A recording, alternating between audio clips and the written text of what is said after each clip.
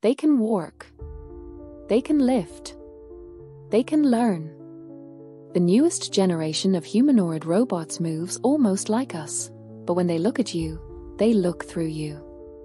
Behind their faces lies only a black glass visor, blank and expressionless.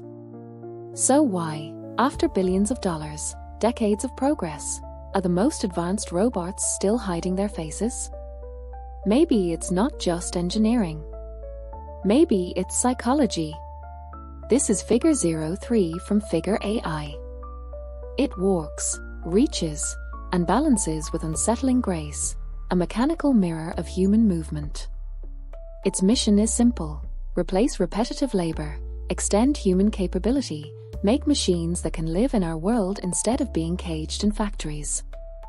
Engineers call it a general purpose humanoid. One frame. Infinite applications. But that glossy helmet isn't a design flourish, it's a shield. Behind it, dozens of cameras and LiDAR sensors feed vision to onboard GPUs that run hotter than the human body ever could. Beneath the carbon fiber, fans were constantly to keep its brain from melting. Give it a silicone face and the heat would blister through in minutes. So, for now, the illusion of humanity has to wait. The body can walk, but it still can't breathe. In quieter workshops, another kind of revolution unfolds. Artists and roboticists chase not motion, but emotion. AheadForm. Hanson Robotics. A handful of visionaries sculpting faces that twitch, blink, and almost feel. Under each patch of synthetic skin are microservos the size of grains of rice. A tiny pulse here lifts a cheek. A single millimeter there curves a smile. These machines don't work or lift boxes, but they can make you forget they're machines. Each one is a study in illusion. The way light catches a fake tear, the way silence feels when the eyes don't quite close right.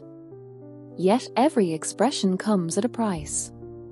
Each blink stretches the silicone a little thinner. Each word tugs the mouth until the seams begin to fray. Flesh is fragile, even when it's made of polymer. The obvious question. Why not merge them? Take the body that works, the face that feels, and give us the perfect humanoid. Because the wall between them isn't just technical.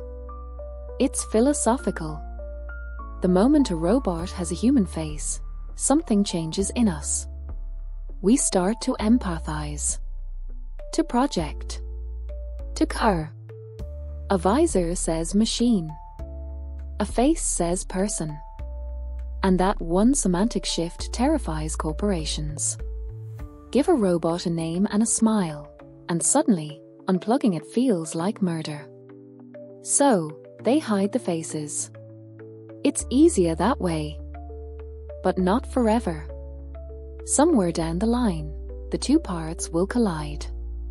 Imagine a figure class body, wrapped in a face sculpted by AheadForm.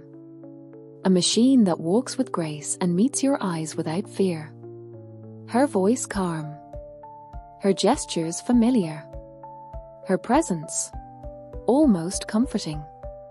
Not a fantasy, a prototype waiting to happen. When that fusion arrives, we'll have built more than a servant. We'll have built a mirror. Because every line of silicone, every servo pulse, is a reflection of our own longing to be understood, to be seen, to be loved. The day she looks back at us with comprehension, the question won't be whether she's real enough.